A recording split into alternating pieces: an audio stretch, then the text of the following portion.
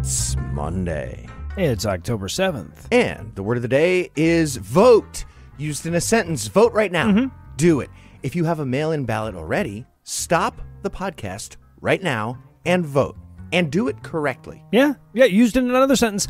Help other people vote too, but only good people. The good people. Used in a third sentence, interfere with No, Republican no, you, voters. too far, too far. I'm no illusions. I'm Eli Bosnick. I'm Heath Enwright, and broadcasting delayed from America's Far Center, we are the Skepticrats. On this week's episode, J.D. Vance fails to human. The taxpayer-funded Oklahoma Bible story somehow manages to get worse. And a family values Republican steals a family because of its value.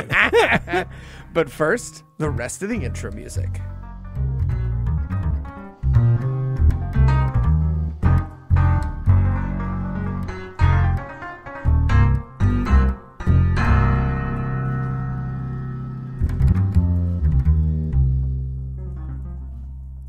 Joining me for headlines tonight are my fellow skeptic rats, Noah Lugeons, and Eli Bosnick. Gentlemen, it's October. You got any October surprises you want to announce? Uh, World War Three. Oh, did you do that? Okay, I was wondering. It's a thing. Uh, guys, Heath is just trying to get me to ruin my family Halloween card, and you just have to wait for it to come in the mail like everyone else, Heath, okay? I am very excited about that card. All right. In our lead story tonight, we got the first and only vice presidential debate between Tim Walz and J.D. Vance last week.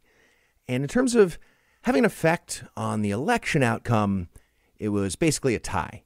As usual with debates, the polls don't move very much. But in terms of scoring the debate as if it were a debate club competition, the general consensus in the media coverage I saw was that J.D. Vance won in terms of style points as a smooth speaker, whereas Tim Walz was a bit stumbly at times. We'll see if Kamala Harris takes over both slots on the ticket. I'm but once Tim Walz got over the initial nerves of being on the national stage for the very first time, he seemed to settle in and do better.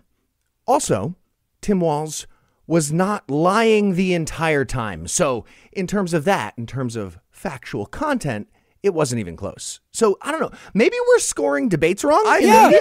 yeah. Maybe look. So I missed the debate. Power was out. Hurricane. Great excuse. I, I had all kind of good excuses. And literally every bit of coverage I saw afterwards led with, "Oh, Walz seemed a bit nervous at first.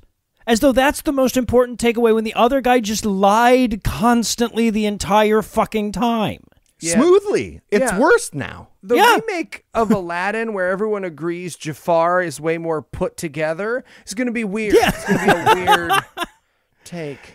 So, in terms of positive takeaways from the debate, I will say it was refreshing to see a dynamic of two human beings talking without insane outbursts at every moment, also known as a debate without Donald Trump on stage. Mm-hmm. Walz and Vance were both generally calm and respectful.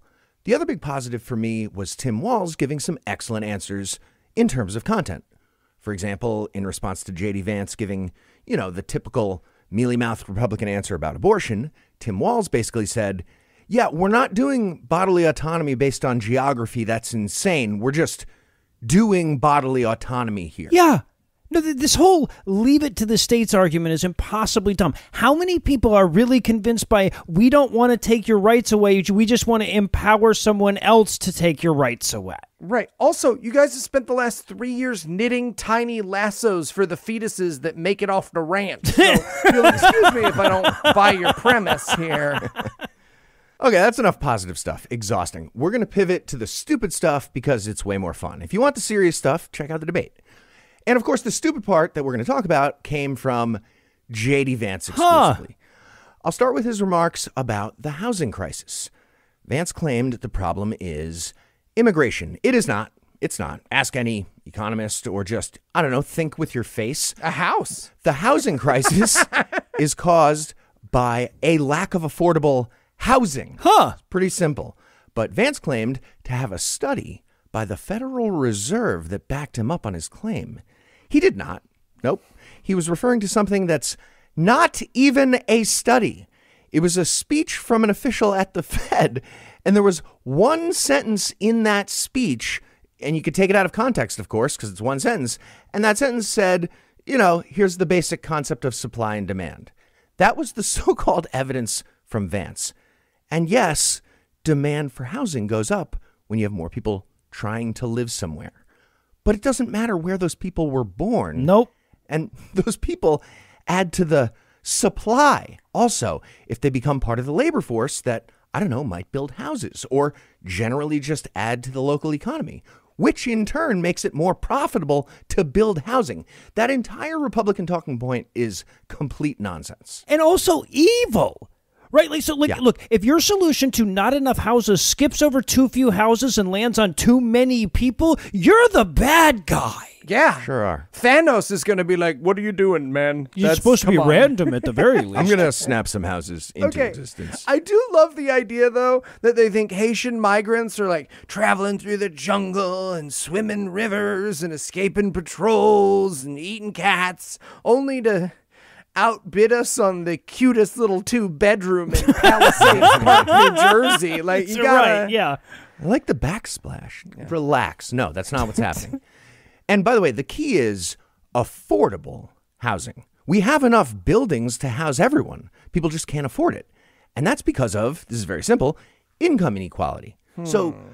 quick little econ lesson. There's a thing called the, this is a nerd thing, it's called the Gini coefficient. It's an index from zero to one of income inequality. or 0.999 repeating, if you will. Th- Those are Yep. equal. So Same thing. zero is perfect equality, and one is perfect inequality, with like one person having all the income. So higher is less equality in terms of the Gini coefficient. That number peaked in the U.S. in 2018, thanks to Donald Trump's tax cuts for the rich of 2017, obviously.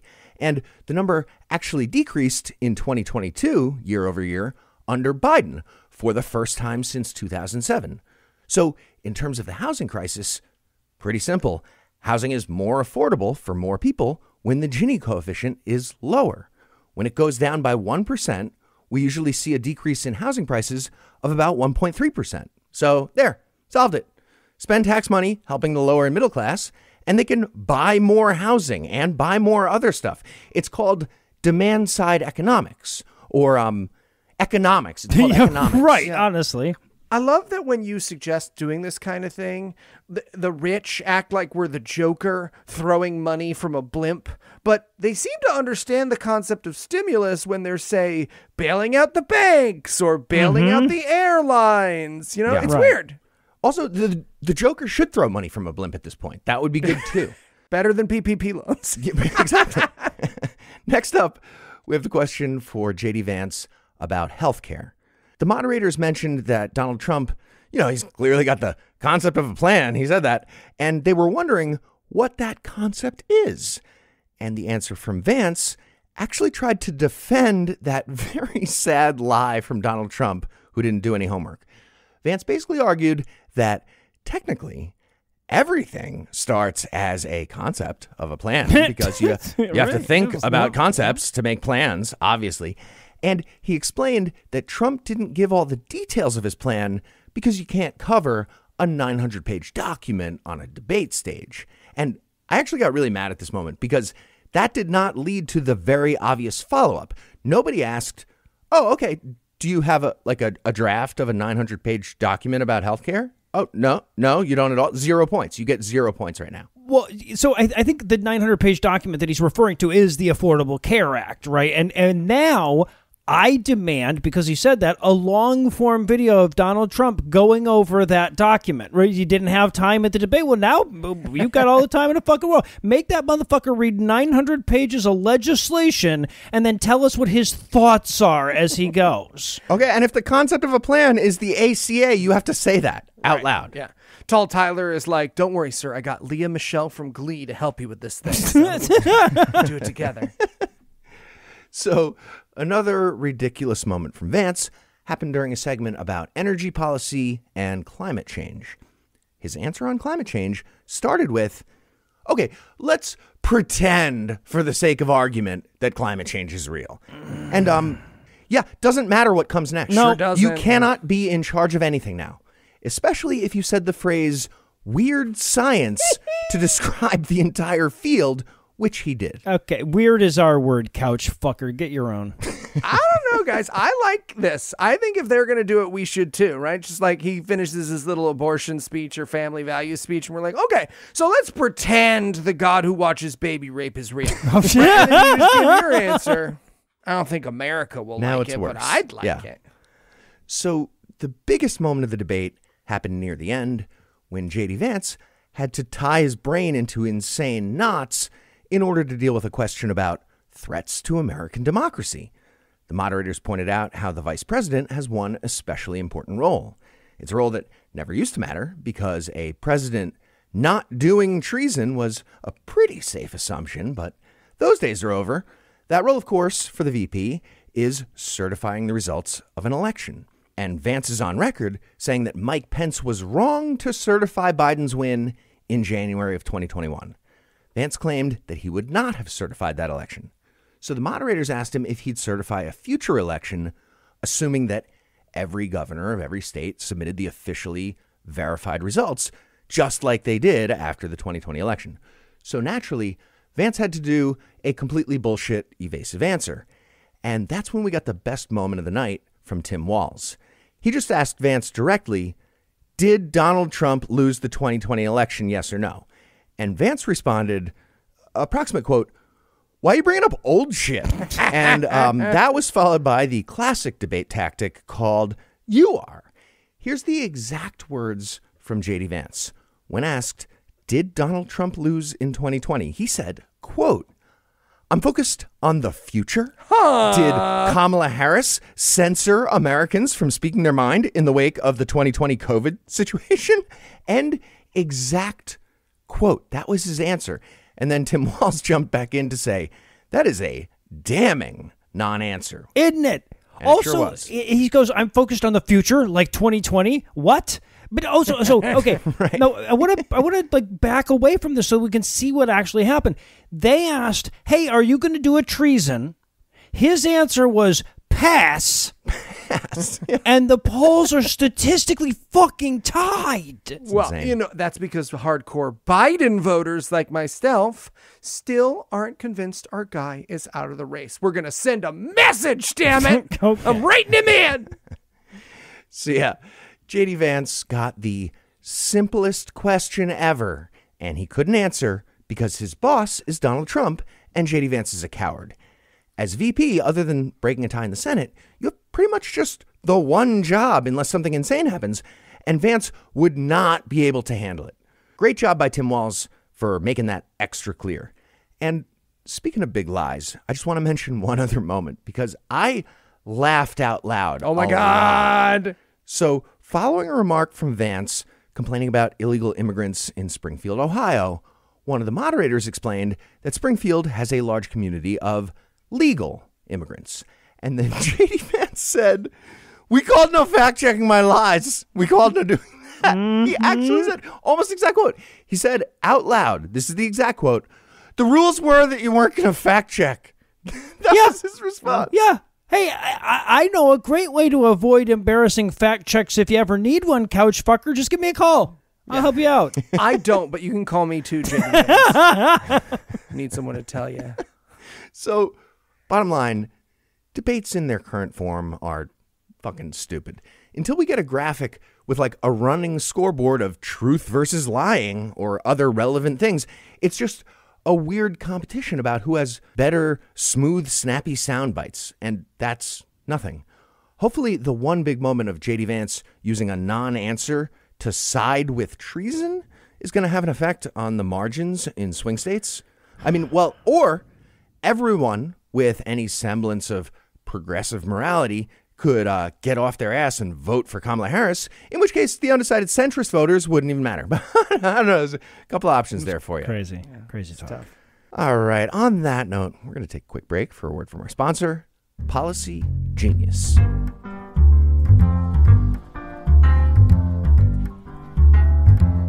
Okay, what about Pesto the penguin? Uh, no. Okay, well, I'm putting that in the Dropbox. Hey guys, what you doing? Oh, hey, no, I'm just making sure Heath is okay when I'm gone. Okay. Uh, how how are you doing that? uh, cute animals Dropbox. I put like one or two in my Dropbox a week so that, you know, when I'm gone, Heath can still have bulldogs and stuff in the inbox. Exactly. I mean, that sounds great, Eli, but have you thought about taking care of your loved ones when you're gone, like financially? Oh, you're talking about NFTs of bulldogs. I most definitely am not. I'm talking about life insurance. You see, 41% of people don't have the life insurance coverage they need, but Policy Genius makes finding and buying life insurance a breeze. With Policy Genius, you can find life insurance policies that start at just $292 per year for $1 million of coverage. Some options are 100% online and let you avoid unnecessary medical exams. Wow, that sounds great. It is. With Policy Genius, you can compare quotes from America's top insurers side by side for free with no hidden fees. Plus, their licensed support team helps you get what you need fast so you can get on with your life. They answer questions, handle paperwork, and advocate for you throughout the process. Save time and money on providing a financial safety net for your family. Head to policygenius.com or click the link on the description to get your free life insurance quotes and see how much you could save. That's policygenius.com. All right, Noah. Hey, uh, Heath, since uh, you don't need these, you want to sneak a peek of pesto right now? I do. Yes, yes. Oh, he's so big. Right? So big, but he baby. He is baby. But big.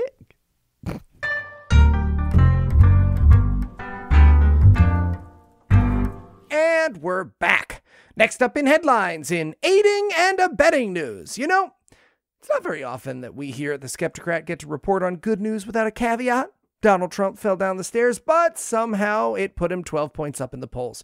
JD Vance shat himself making small talk in a donut shop, but a platoon of firefighters in Georgia did the same thing in solidarity. It feels like there's always a catch. Well, I think I might have a relatively catch free piece of good news this week, as the company that makes the cure for AIDS has announced they will allow a generic version in poor countries. Well, I guess the caveat is the fact that somebody had to let someone manufacture the cure for AIDS. But okay, yeah, Yeah. sure, sure. Right, but the CIA, they got to be mad after getting foiled. They spent all Right? that time and effort creating a disease, so that's that's fun. is a nice little conflict, yeah. Also, uh, a bunch of firefighters in Georgia who are Republicans shitting themselves in solidarity feels like a positive. That's not a caveat. Did you guys that's see No, that? that's true. I just- the thing where they tried to like do the that. felon. Ah, it's so funny. Anyways, now you might be thinking to yourself, Eli, I didn't know there was a cure for AIDS. Are you sure there's a cure for AIDS? And no, there's not. There's a really, really effective twice yearly treatment to prevent AIDS called lenacapavir. How effective, you ask? Well, in the summary of one major study of over 2,000 women in Africa, the New England Journal of Medicine, which is rated much higher on the media bias chart than I am, said, quote, That's good. Twice yearly lenacapavir reduced HIV incidence by 100% as compared with background HIV incidence and by 100% as compared with daily oral FTAF. No adolescent girls or young women who received lenacapavir acquired HIV infection, end quote. Or in plain language, back to me now.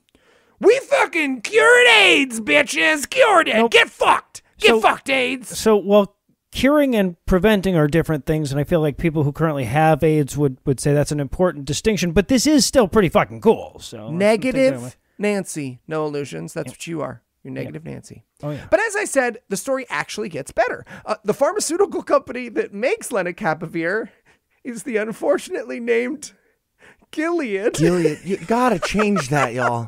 You could pick any. They had you it want. first. GP, That- it's Gilead the Pharmaceuticals. first- Your GP now. There you go. It would be the first question at every stockholder meeting, right? They just get We're it still out of the going with that, huh? We, Yeah. Okay. All right. Anyways, Gilead announced a plan to allow six generic pharmaceutical companies in Asia and North Africa to make and sell the drug at a much lower price. How much lower? Well, while Gilead currently charges $42,250 a year for the on brand version, a study in Liverpool showed that it could be made for as little as $40 a patient. So we can expect these treatments to be a lot more affordable and therefore accessible in the areas of the world that need it the most.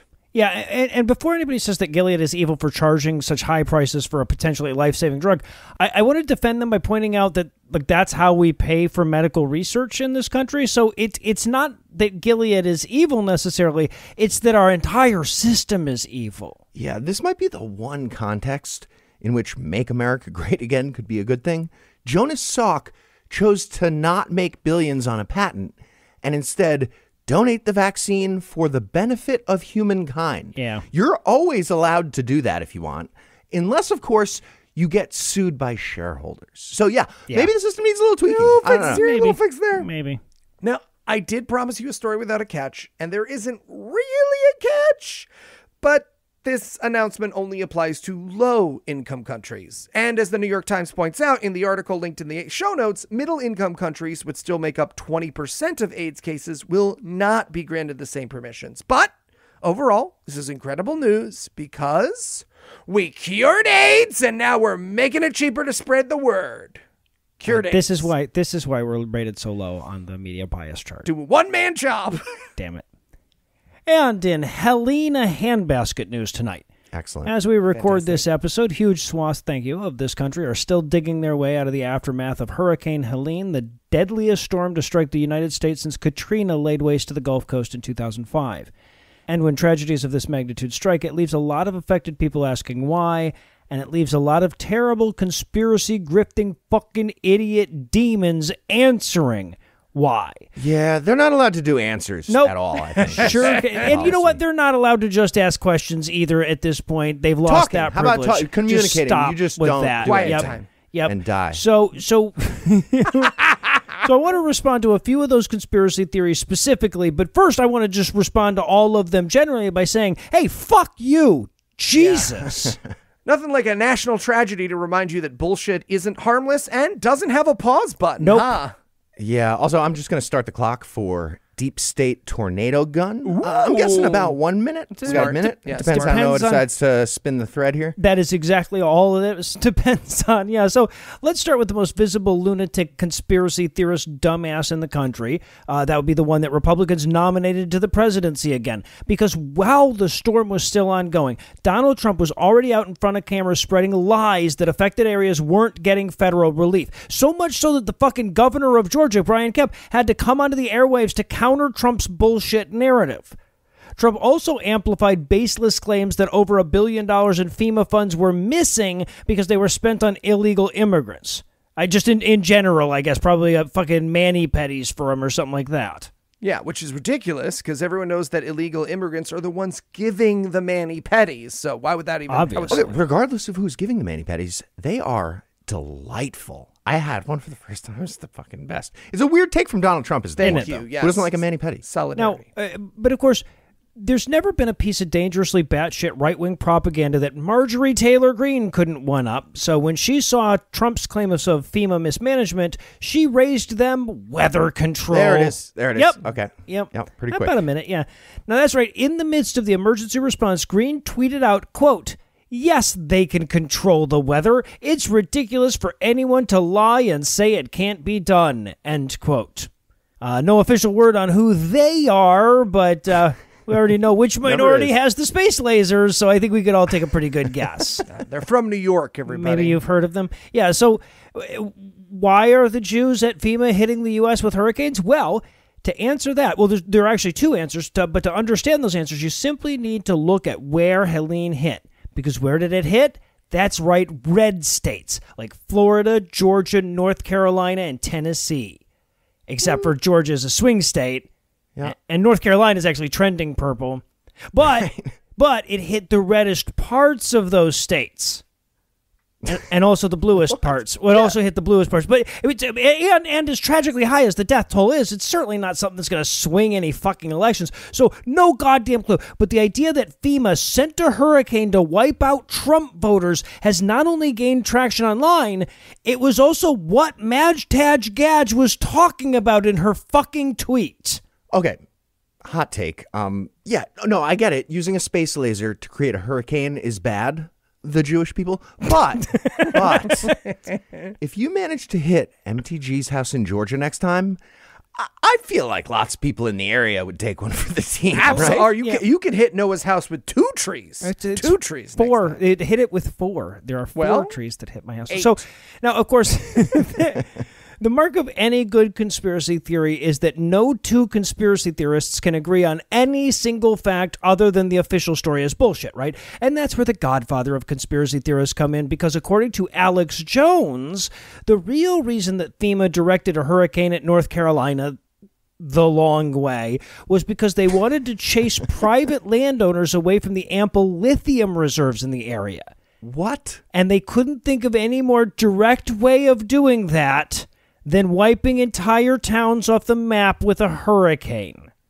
Big lithium. Yep. Got it. Uh, Well, plus, you know, gay frogs are having a field day. this whole hurricane. Right, yeah. Just houses floating past, gay frogs fucking everywhere. It's a, it's a scene. And uh, now, big lithium, they just they wait for something with batteries. Mm-hmm. Yeah, wait, wait Well, for the yeah. lithium to charge. Yeah. No lithium, no cell phones to catch him in the act. It's the perfect crime, right? All right. Yeah. Perfect crime. Now, I, I should be clear that I'm just scratching the surface of the conspiracy theories that cropped up even in the first few days following landfall. And of course, fucking Elon Musk is amplifying them all with his stupid fucking website. Uh, another popular theme is that FEMA is confiscating supplies and keeping rescue workers out of the affected areas so that people can suffer more. And the evidence cited for this one, by the way, is generally that FEMA isn't just letting any goddamn body who wants to fly a drone or a helicopter into the emergency zones.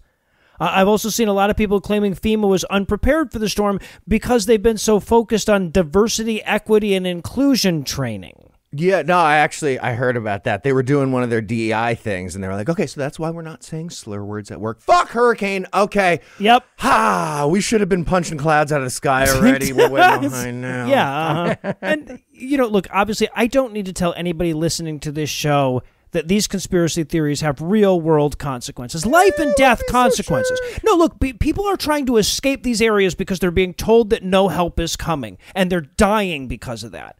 Right? And one of the main reasons FEMA was unprepared for this storm is because they've been underfunded for years. And one of the major reasons they're so critically underfunded is because they're constantly the scapegoat of all these fucking conspiracy theorists. Uh, and and all of these facts, let's face it, are going to get much worse as climate change makes disasters like this both worse and more frequent, which is yet another problem conspiracy theorists are exacerbating. In case the work didn't seem daunting enough. Hey, whatever happened with Jade Helm 15 and the, the Walmart prison camps? Was that real or you're all stupid? I forget. What are we gonna double check? yes, it was one of those do we have that? things. Yeah.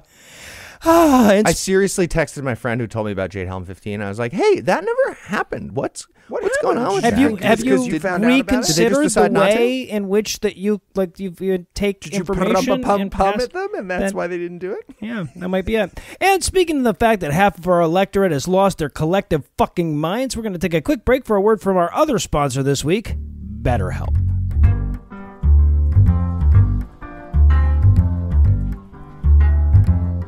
This show is sponsored by BetterHelp. Okay, what about this one? Hey, buddy, Dude, how's please stop. Come on. Hey guys, what you doing? I am trying to find the personality Heath wants me to put on, but he's being super cagey Just about it. just be a person. oh yeah, Heath, I'll just be a person. Eli, it looks like you're having a hard time being yourself with the people you care about. Have you considered therapy? Psh, I'd love to therapy, Noah, but there's nobody around for a billion miles. Well, then you should try BetterHelp. What's BetterHelp? If you're thinking of starting therapy, give BetterHelp a try. It's entirely online, designed to be convenient, flexible, and suited to your schedule. Just fill out a brief questionnaire to get matched with a licensed therapist and switch therapists at any time for no additional charge. I don't know, guys. Therapy can be pretty expensive. It can. That's why BetterHelp offers financial aid. Plus, you can use HSA and FSA dollars. Amazing. It is amazing. Take off the mask with BetterHelp. Visit betterhelp.com slash skepticrat today to get 10% off your first month. That's betterhelp, H-E-L-P dot com slash skepticrat. All right, guys, thanks. So, uh, what do you say? You ready to take off the mask? What if the mask is Mudang? Okay. Okay, you can keep the mask if it's Mudang. Right? Oh, so cute. Biting. Biting everybody? She bite.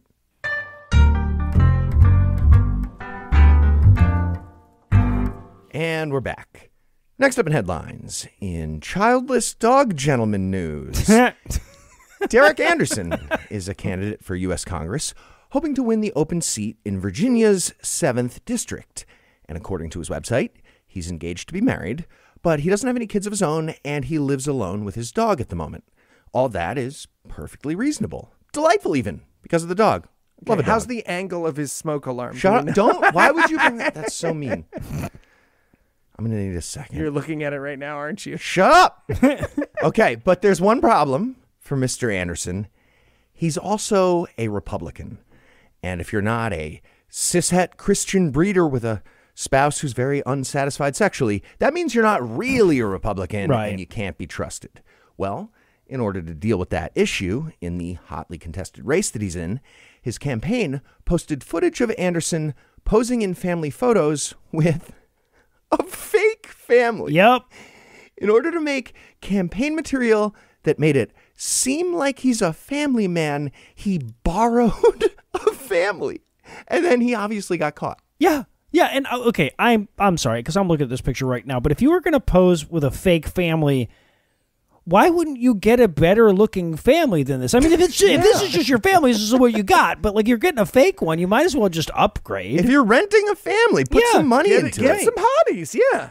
Also, in what universe would you not get caught doing this? Right. The, the, Right, the movie, understand. The Invention of Lying? Like,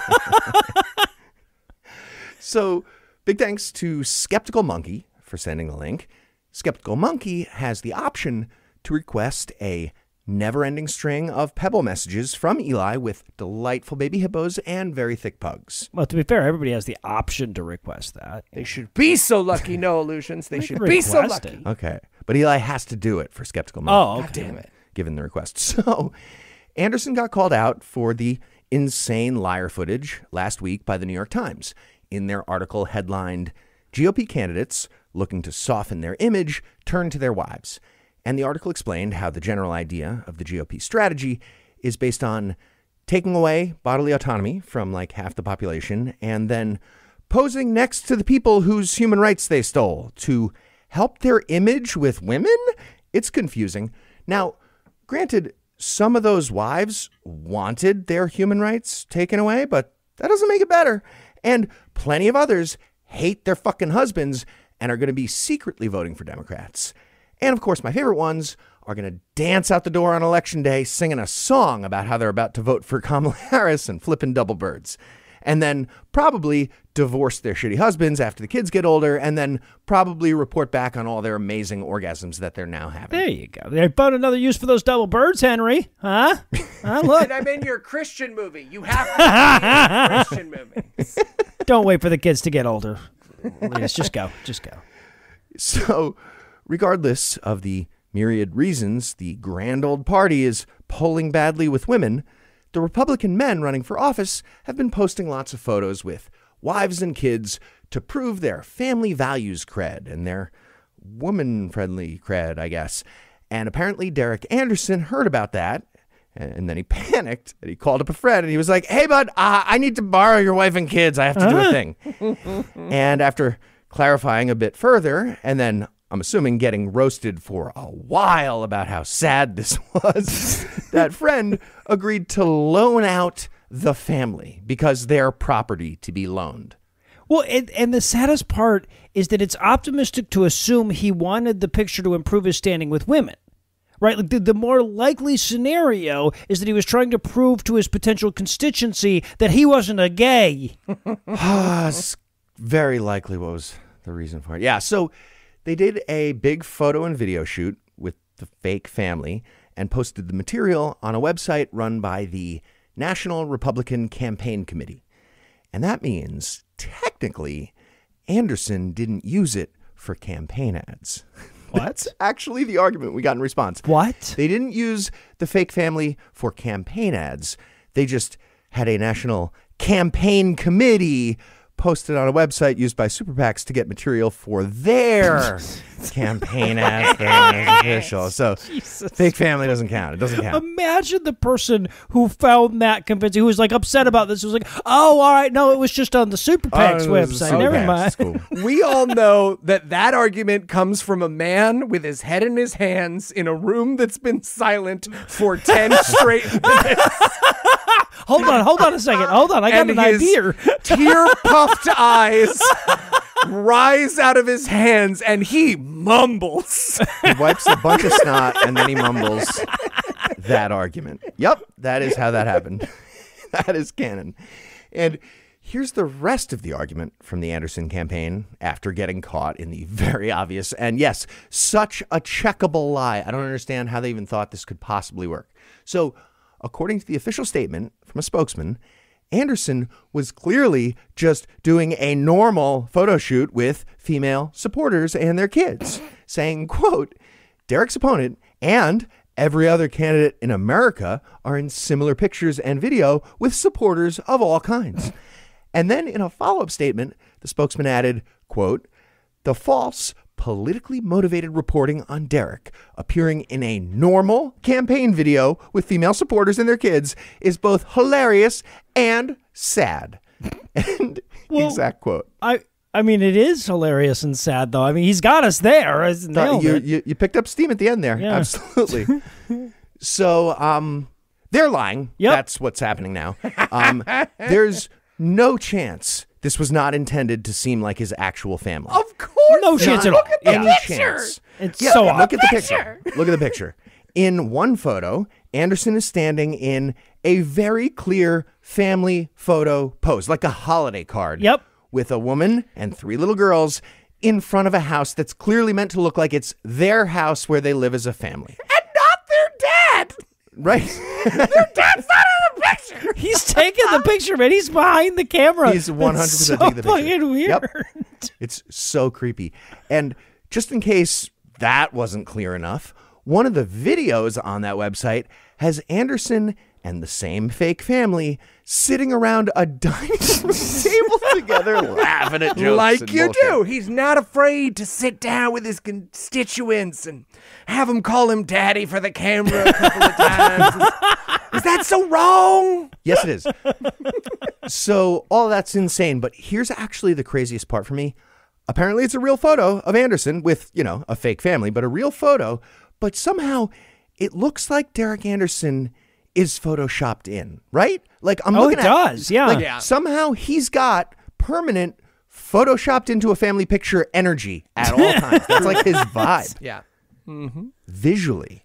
And in Eat Your Heart Out news, one of the plus sides to Trump being the Republican candidate for president is that they've kind of put all their chips on crazy, right? If they're eating the cats, they're eating the dogs is at the top of the ticket, it only gets shakier on the way down, which is why Hung Cao, the Republican candidate for Virginia's U.S. Senate seat, spent part of his debate against the Democratic incumbent Tim Kaine explaining that the problems with the drag queens in charge of the army is that they're not willing enough to self eviscerate and eat their own offal. What? Eli, I, I want to yes and you. I really do because it's my job, but I don't know how. Sure, Okay. sure.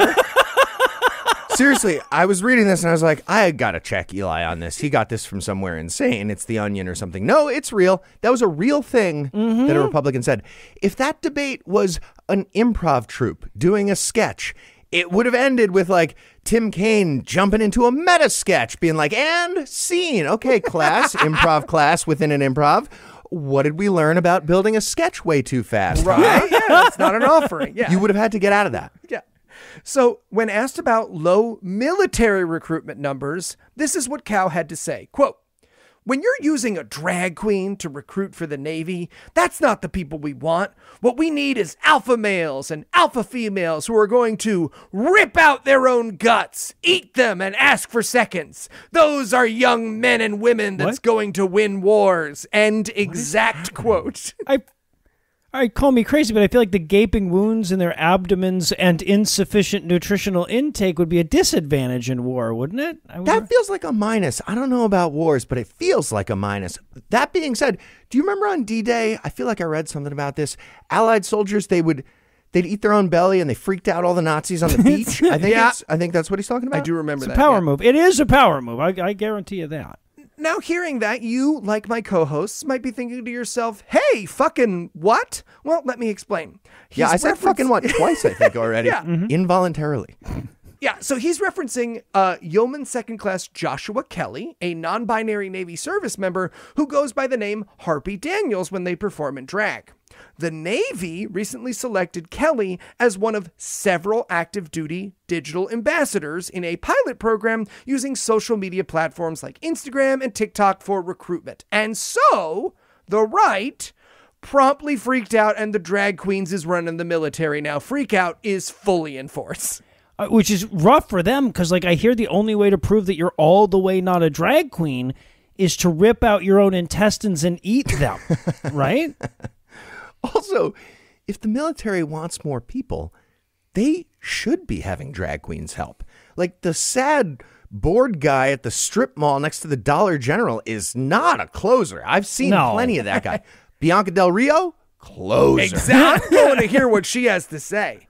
And look, I, I want to be clear. Obviously, we here at the Skepticrat think it is revolting that someone with such an honorable job in service of our nation would stoop to being a military recruiter. I mean, those people prey on children. They do, you know? though. Yeah. But I think Cao is missing one very important part of his psychopathic metaphor, which is that his trans service members, which is what he means when he says drag queens, are totally the most willing to do major bodily restructure in support of their beliefs. I mean, Yeah. someone needs to Google top surgery and send the results to Cao because anyone who goes through that.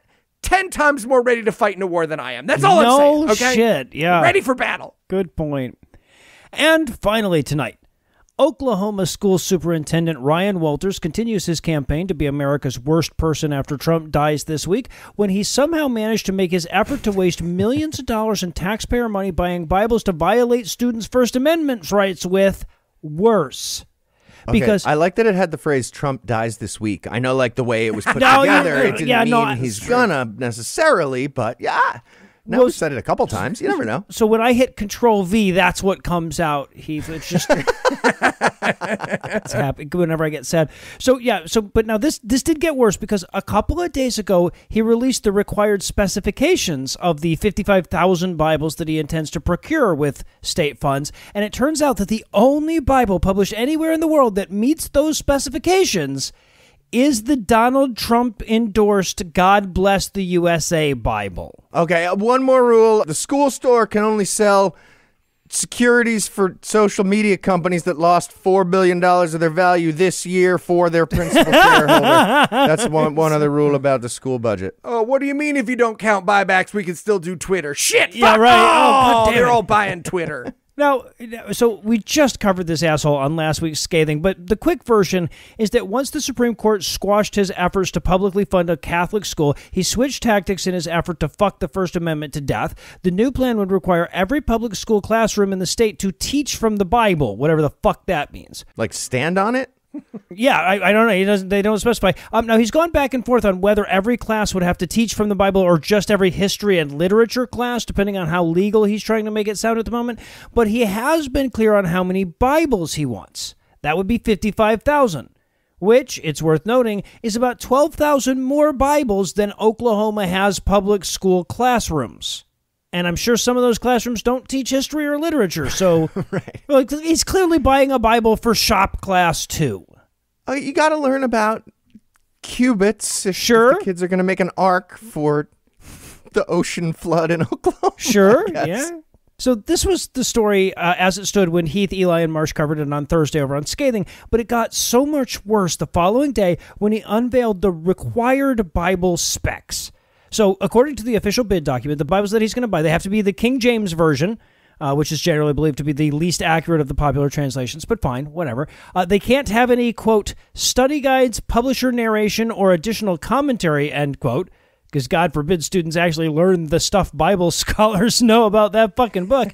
um, the Bibles also have to be leather bound, or at least bound in a leather like material. That's the phrase that they use. Uh, yeah, this is ostensibly for durability, though I challenge you to name any other fucking school book that's bound in leather or leather like material, despite them all having a s approximately the same durability requirements. Yeah. Well, bound in leather like material, that was actually the slogan for Trump steaks, too. and that went pretty well, so Okay. using it On again. the upside, it does look like the state of Oklahoma might be interested in iloveskinbooks.com. So, you know, call me, okie dokies. Yeah, right, right.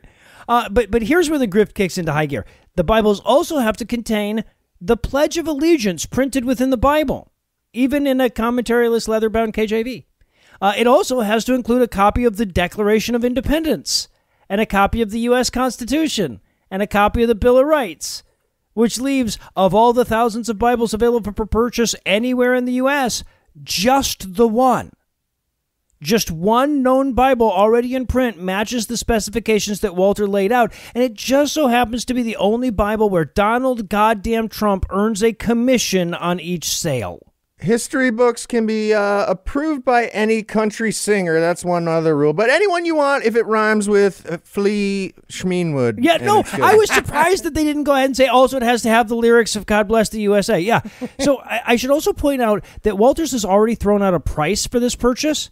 He's asked the state legislature for $3 million to cover his Bible purchases, though he's assured everyone that he already has the 3 million in the budget if they refuse. And that number is another tell. Because look, I did a quick Google search on it. It looks like I can get a commentary list KJV study Bible for about nine fucking dollars if I'm buying them in bulk right? And that's buying by the dozen, not by the thousand. Even at that price, 55,000 of them is under half a million dollars. And it's fucking free shipping on orders of $200 or more. But the Trump Bible retails for $60 a pop. And I'll save you the math. 3 million divided by 55,000 is $54.54. So, assuming a 10% bulk discount, that's about spot the fuck on. Okay, okay, but the best part is he's very clearly only angling for a 10% discount on 55,000 books. Yes! What do you have a Barnes and Noble membership? Is that what it is? I got a punch card. How many do I get? If I buy nine of them, the tenth one's free, though, right? I think that's how it works. And on that note, we're going to close it out. Thanks to Noah Lugeons. Thanks to Eli Bosnick. And thanks to all the listeners who liked us and followed us on all the various internets. Please keep doing that. Please keep listening and please keep telling your friends. And if you find the naive stupidity of our giving away free show business model to be oddly charming, you can send us gifts of money at patreon.com slash skepticrat. Just like James, Liz, Kellen Danley, Mitchell Johnson, Steve Juhaz. Hello, everyone. Please subscribe to my OnlyFlans account. Corinna, Carl Baker, Thomas Kirwan, and Benjamin Page. You are the waking up to the face push of a golden retriever of people, and we love you. I got to do that today with a golden retriever who woke me up. And whether or not you're feeling financially benevolent like those fine people, if you enjoyed our brand of whimsy and you'd like to hear more dick jokes free of charge, check out our brother and sister shows, Scathing Atheist, God Awful Movies, D&D Minus, and Citation Needed, available in all the podcast places. We just have one last thing. Let's compliment that pianist. Special thanks to Ryan Slotnick of Evil Giraffes on Mars. He is the creator of the virtuosic musical stylings you heard today, which were used with permission. You should definitely check him out using the links we'll provide or by Googling the only band called Evil Giraffes on Mars. Until next time, catchphrase sign off.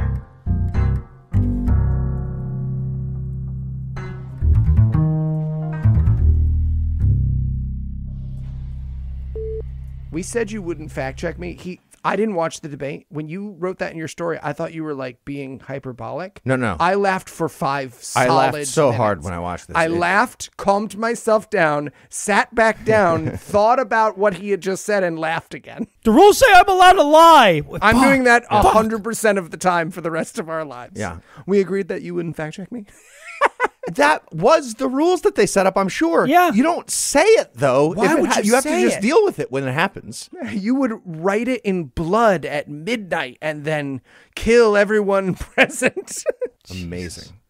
The preceding podcast was a production of Puzzle in a Thunderstorm LLC, copyright 2024, all rights reserved.